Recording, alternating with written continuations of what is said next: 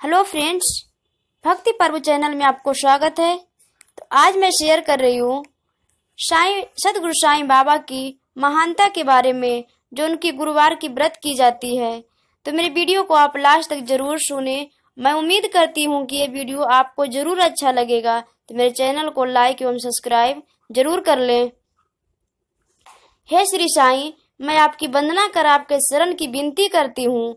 क्योंकि आप ही इस भवसागर से मुझे तार सकते हैं।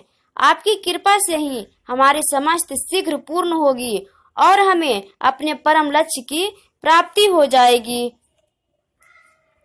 हमारी अज्ञानता के कारण माया, मोह रूपी झंझावात से हमारे धैर्य रूपी वृक्ष की जड़ें कमज़ोर हो गई है। अहंकार रूपी पायु की प्रबता से हृदय रूपी समुद्र में तूफ़ान उठ खड़ा हुआ है। जिसमें क्रोध और घृणा रूपी घड़ियाल तैर रहे हैं। अहंकार एवं संदेह रूपी नाना संकल्प, विकल्पों के भवरे में निंदा, घृणा और ईर्ष्या रूपी अगणित मछलियाँ उसमें विचरण कर रही है। यद्यपि यह भवसागर इतना भयानक है कि फिर भी सदगुरु साई महाराज उसमें अगस्त स्वरूप हैं, इसलिए उनके भक्तों को लेस मात्र भी भयभीत होने की ज़रूरत नहीं है। श्री सचिदानंद साईं को साष्टांग प्रणाम करके उनकी चरण वंदना कर, पर हम सब अपने कल्याणार्थ उसमें प्रार्थना करते हैं कि हे श्री साईं, हमारे मन की चंचलता और वासनाओं को आप दूर कीजिए।